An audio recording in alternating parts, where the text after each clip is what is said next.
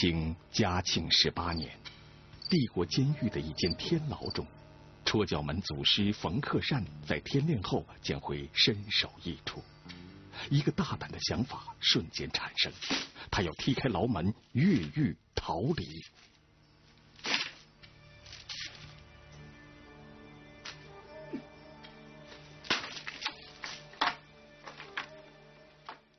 好好学功夫吧。影片《少林寺》中，主人公练习时的这套腿法就是戳脚。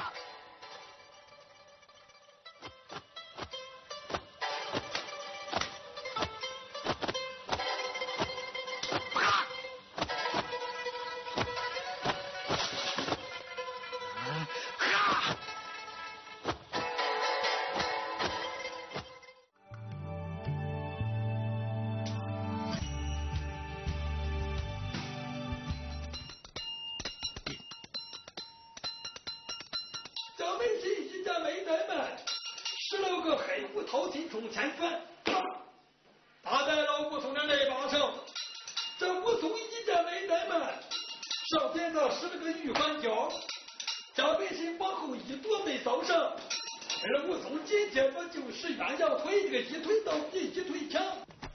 面对身材高大的蒋门神，武松的手臂无法接触到对方身体，一分长一分强，他便用伸展距离更长的腿脚攻击对方。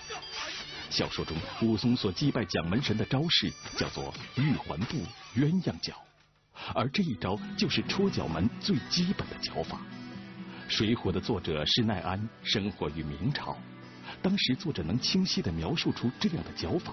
说明这门武功在六百多年前就已存在。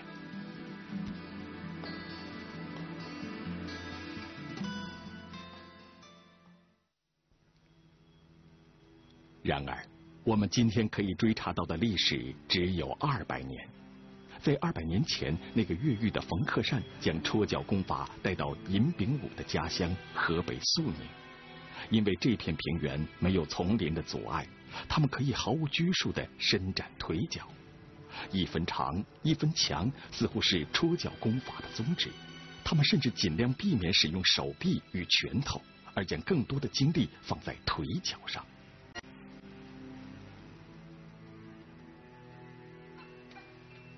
每天早晨，一些爱好武术的孩子会在上课前来到这个小院练习戳脚。他们的脚掌不断用力踢击地面，擦地而起，应地而落，这便是戳脚的戳。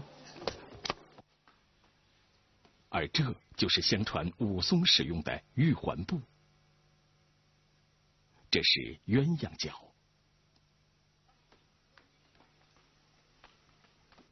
在孩子们练习的场地中央，两排木桩深埋土中。他们通过用脚掌踢击木桩以获得脚力。这些木桩曾经在肃宁戳脚门的传说中出现过。两百年前，他们的祖师爷就是踢断牢房的木门逃出牢狱。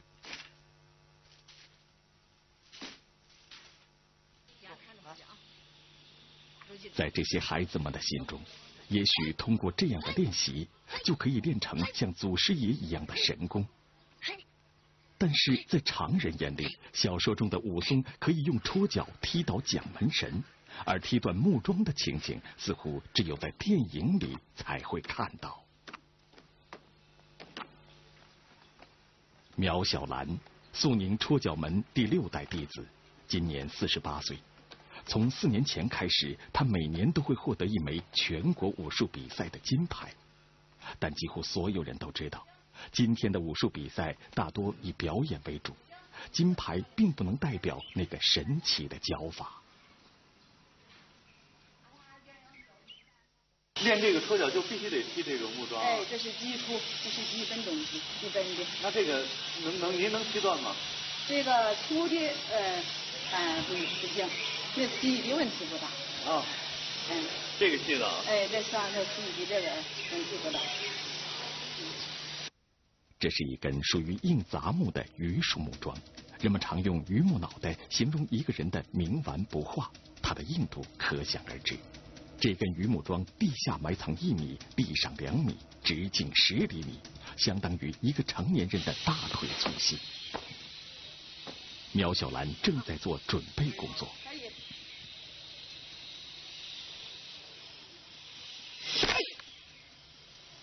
虽然他没有踢断木桩，但已经清楚的听到了木头断裂的声音。他的脚滑了出去。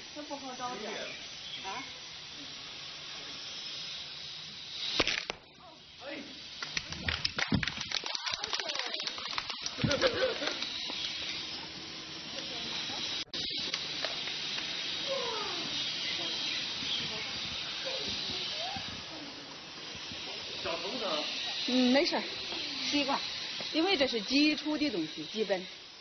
我的学生提砖都可以，提这提砖，砖，那房上那个，咱们用的那盖房的那砖，嗯，都可以。提六块吧。嗯，提六块试试啊，活动活动。六块没问题吧？应该是没问题吧。高一学生蒋芳今年十六岁。练习戳脚只有五年时间。发着力的去，发着发着声，三天的。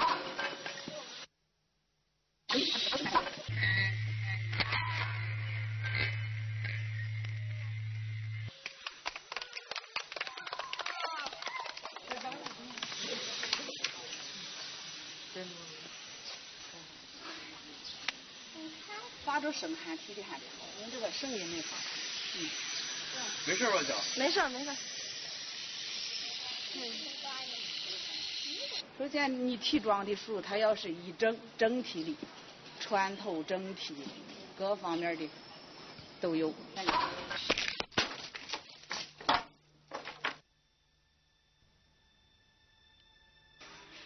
若不是影像记录，可能没有人会相信这个超越人体极限的片段。他们的脚的确可以像他们祖师一样轻易的踢断木桩，这种力量超乎常人的想象。但是在很多学者眼里，那位祖师爷并非像传说中的那样真实。那个故事的主人公根本不是戳脚门的开山祖师。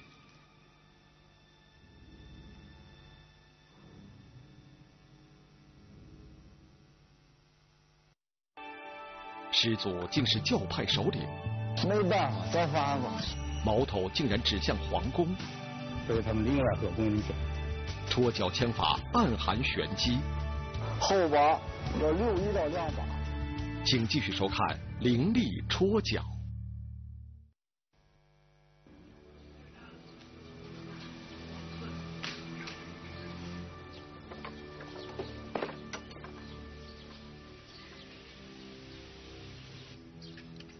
农历的九月十五，肃宁戳脚门的武师们都会来到师傅家里，一起祭拜祖师。祭拜之前关门的传统已经延续了近两百年。他们的开山祖师就是画像上的这个人，他叫冯克善。生活在嘉庆年间的冯克善并不是一名普通人，而是清政府的一个囚犯。并且是一名试图推翻当朝政府的教会首领。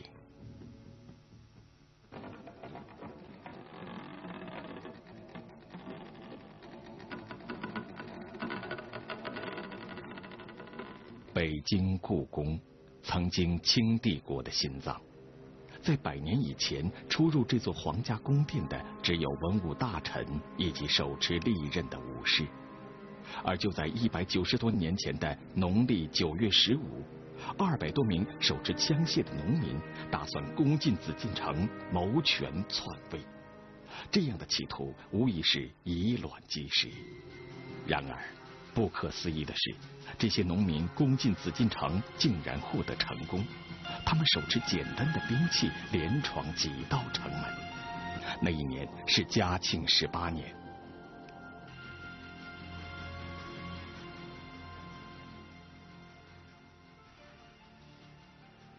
清史稿》称这次事件为汉唐宋明之所未有。这些人属于嘉庆年间一个神秘的组织——天理教。天理教它也叫八卦教，在嘉庆月十五日，他们就开始起，攻入皇宫。因为他们有内应，以前林清联系了里头几个宦官，所以他们里外合攻进去了。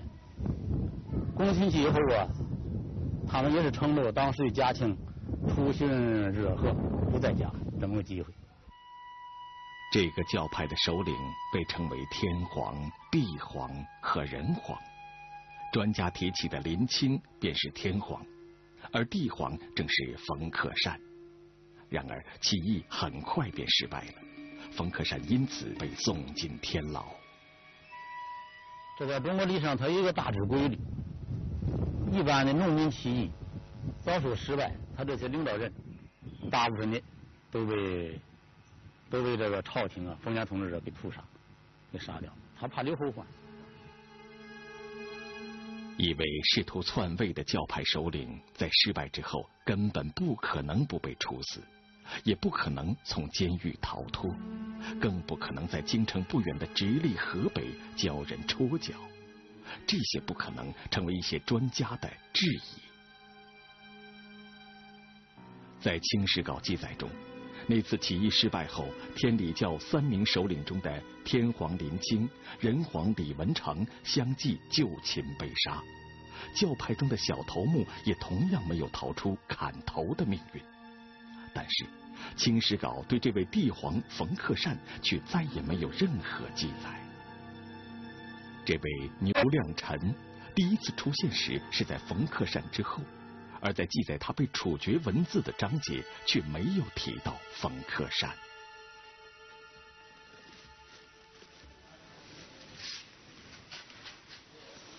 然而，正史中没有记载的冯克善，却意外的出现在尹炳武的家中。错叫全，有了年头了，一百多年了。这是我们老师的老师传给我的，这个冯克善。从这本保存了一百多年的戳脚全谱的传系表上可以看出，肃宁戳脚门最早确实由冯克善创立，这是什么原因呢？这没说，我看有两个可能，一是庆庆呢，觉得这是一个挺大的耻辱。一二百人，二甚至二百多人，你就甚至就有的说是十几个人就能攻入庆庆。他这些侍卫，这些大内侍卫都是功夫很好、很好的人。看来这些人都太草包了，太没本事了。这是一个耻辱，所以他不不写，不写他。再有就是冯克山跑了，他没有被没有被抓住。很多年来，苏宁戳脚门的武师宁可相信。自己门派的功夫是祖师冯克善越狱后，在沧州保定一带教授徒弟，才得以流传到今天。在戳脚门的传说中，冯克善留在河北，是因为这里距离当时的京师只有一天的路程。再次起义，或许是冯克善流连于此地的目的。这一点从戳脚门的祖训中便可隐约看到。出教门祖训大多与武德有关。但有一条却写着“杀贪官污吏，杀土豪劣绅”。祖师爷呀，都是农民，农民有什么想法呢？吃饱了就行。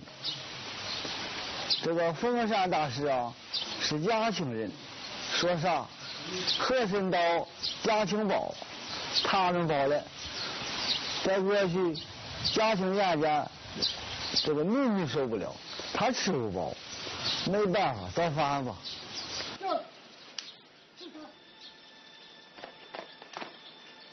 在那次起义之后，天理教冯克善和祖训很快便被世人遗忘，淹没在历史的尘封中。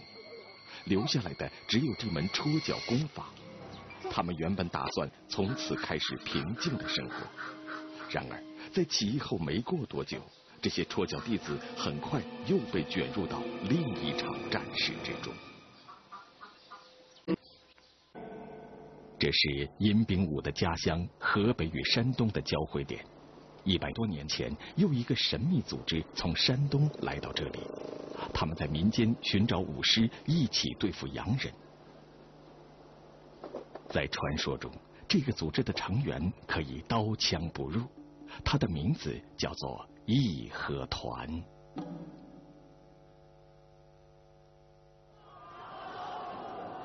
电影《神鞭》就是以这一历史事件为背景拍摄而成。影片中的神鞭和乡亲们加入义和团，他们虽然无法刀枪不入，但是在近身肉搏中，拥有武功绝学的神鞭当即发挥了作用。电影发生的地点是当时的天津，而在同一时期的河北也曾发生过类似事件。这本戳教族谱上的很多戳教武师都实实在在的参加过与洋人的战斗，但戳教武师的腿再长也长不过敌人的射程。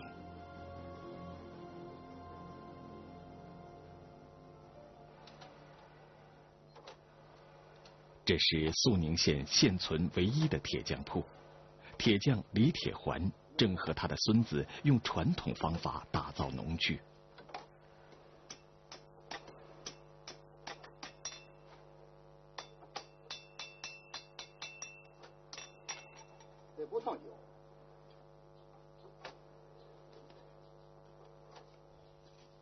而在一百多年前的那次义和团运动中，这个家族打造的并不仅仅是农具。过去那么人，呃，最少打这个长枪嘞，呃，汤嘞，刀嘞，老人拿盐的工作干这玩儿，呃，都都打铁，打铁这个呃，咱父亲又打，又传给我。过去主要的是过去生了这个长枪头。一百多年前义和团时期，戳脚门的武器不仅只有腿。在他们空闲的手中，被迫增加了一把枪——罗四枪。罗四枪是戳脚拳的一个比较重要的一个器械，它与别的枪法不同。哎，拿枪时候后把要留一到两把。很多武术家认为，如果出脚武师持枪时右手握住枪的根部，那么枪的长度会比现在增长很多。然而，注重一分长一分强的出脚，却没有让这个枪的优势发挥到最大。明朝抗倭名将戚继光在实战多年后，曾写成一本兵法书《绩效新书》，其中也提到枪法的使用。图例上所有拿枪的士兵后手都紧握枪的根部，这正是为了增加长度，有效刺伤敌人。这样看来，戳脚门武师拿枪的姿势似乎并不正规，枪法竟然因蛇而起。武功为何如此凶狠？战争越多越远，老百姓的这种不耐烦感就越严重。戏曲竟含戳脚功法，请继续收看《凌厉戳脚》。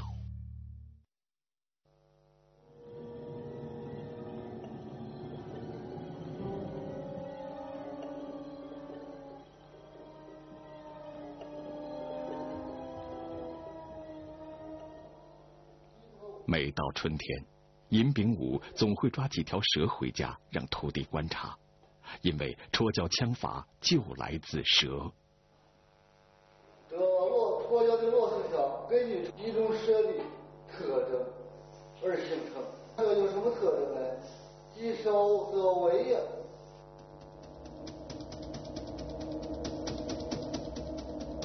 什么棘手啊？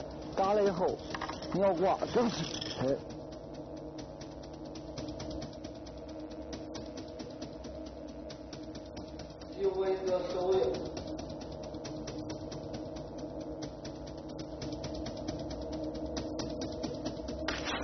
折起来，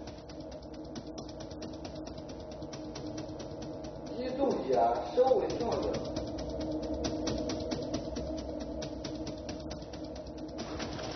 稍微上。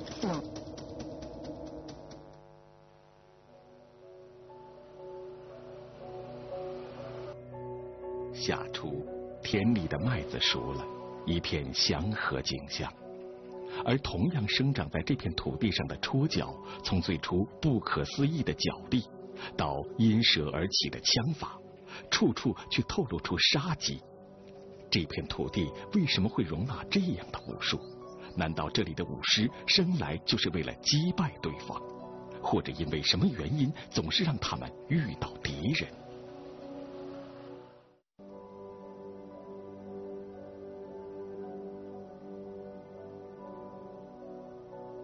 肃宁县档案馆保存有一套清朝末期的肃宁县志。任意翻开一本，都会看到，在这一时期，整个肃宁全境几乎年年都会遭到各种天灾。没有人会想到，这无穷的灾难会给当地百姓带来什么。它也属于苦海延绵，这里的老百姓也很苦，呃，并且盗贼四起，匪患的骚扰很多，所以这个群众老百姓们。这种防护意识是越强，所以从历史上，这里他得是直隶呀，这是直隶省的辖区，它守着北京又近，所以这里的战士越多，军家必争之地，战争越多越乱，老百姓的这种不安全感越越严重，所以他这练武的积极性就越高。这张照片拍摄于一九四四年，这一年农历的八月十三。肃宁历经十一年的抗日，终于取得胜利。两百年间，因为紧靠京城的缘故，使得这一地区不断遭受着战争的蹂躏。天理教起义、太平天国、八国联军和义和团抗日斗争，不知多少戳脚武师被迫卷入这些战争。或许是不屈的抗暴秉性，使得肃宁成为河北中部地区第一个解放的县城。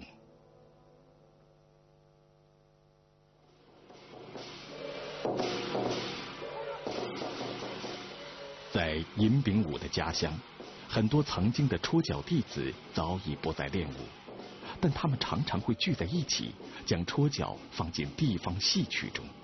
他们把这叫做武术戏。和其他戏曲不同的是，武术戏演员在出场时走路的姿势非常特别。